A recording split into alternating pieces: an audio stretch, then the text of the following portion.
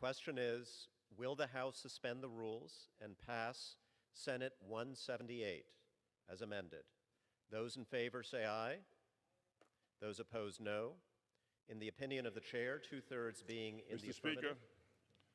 I'm Senator requesting the, the uh, yeas and nays.